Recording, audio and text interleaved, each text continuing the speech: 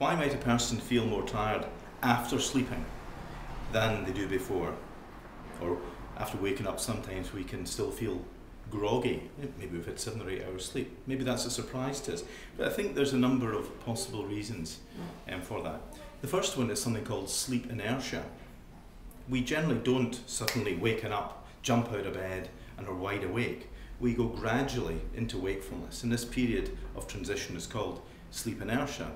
So, if truth be told, most of us, even sleep, you know, experts like myself who, who pride myself in being a good sleeper, it takes me a little while to get going in the morning. That's totally normal. That grogginess is called sleep inertia.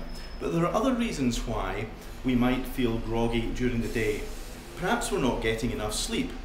If we're a little bit sleep deprived, or we're not taking enough sleep that meets our natural requirements, then of course you'll pay the price for that during the day and not be as restored as you should be.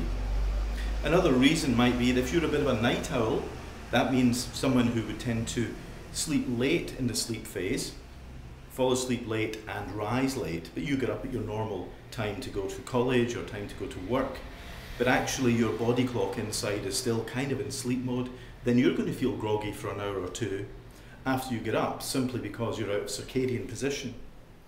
And there might be other reasons too. Um, you know, for example, you might have fragmented sleep because of a breathing problem at night. You might remain asleep, uh, but you might not be breathing all that well during the night. Snoring is a, is, is, is noisy breathing, but sometimes people have pauses in their breathing called sleep apnea. Sometimes that can reach a clinical level. And if it does that, then what it means is the brain doesn't have enough oxygen during the night, and because that happens, um, we keep waking up very, very briefly, kind of micro arousals.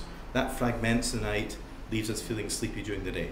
So these are all different reasons You'll probably know about alcohol, that that could make you feel not so good in the morning as well. So that's another thing to bear in mind.